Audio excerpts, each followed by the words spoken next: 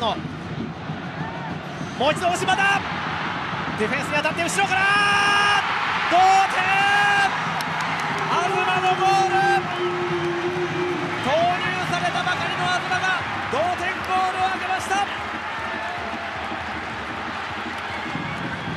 群馬再び追いつかれました。大島のヘッドディフェンスに当たってこぼれたボールを右足振り抜きました。東です。今シーズン初ゴールは